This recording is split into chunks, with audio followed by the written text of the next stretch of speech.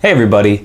After a long hiatus in posting videos, I'm finally back and I've got a new video camera, I've got a new nice lapel microphone, um, I've got a whole new series of videos planned and uh, we're ready to do some chemistry again.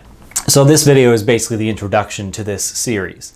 So this series is going to be called Elemental Extractions and it's going to focus on using chemistry to obtain pure elements for an element collection. So obviously that's going to cater to element collectors, uh, but it'll also, I hope, be interesting for other people and amateur scientists that would like to do chemistry with various elements from the periodic table. Of course, I probably won't do every element on the periodic table for several reasons.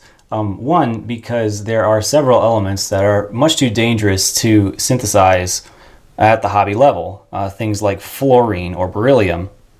There may be some elements that I skip temporarily, um, because I'm just still working on making that experiment doable at a hobby scale or safe at a hobby scale. Uh, so you might find a couple of gaps in my coverage of the elements, and uh, some of those, you know, maybe I just haven't gotten to them yet. But I hope to come back around and be able to do as many as possible. And then, of course, there's things like the noble gases, which can't really be extracted from compounds because they don't really exist as compounds. Uh, there's a few circumstances where they can make compounds, especially out of xenon I've heard of, but that's in very, very specialized labs, which I obviously don't have access to. You know, for an element collection, I want to make things as interesting as possible. There's websites online where you can go and, buy all these elements if you want to and, and hang them up on your wall. And that in itself is pretty satisfying, I'll, I'll admit. Um, but I wanted to have a story behind as many elements as I possibly could. So it's very cool to me to be able to pick one up and say, look, I made this from a compound. I was able to wrest a pure element from nature's grasp of turning it into a compound.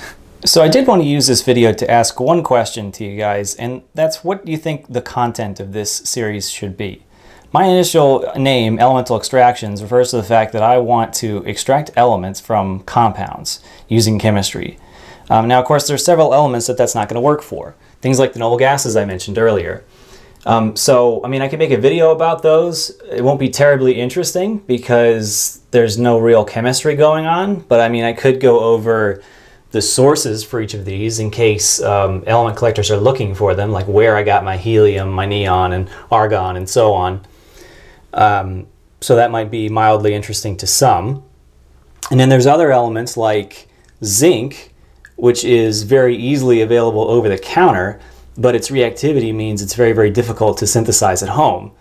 Uh, so again, that won't have much chemistry in it, but I could do things related to zinc, uh, say where my source was, and maybe do bit, some videos of me melting it or something to that effect.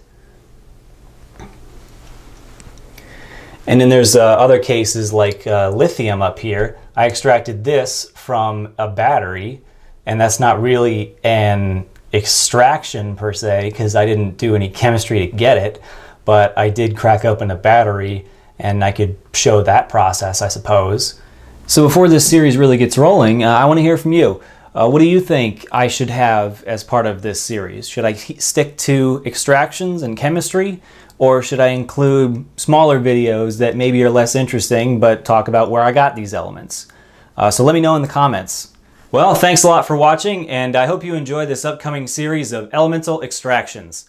I look forward to reading your comments about uh, where you think this series should go.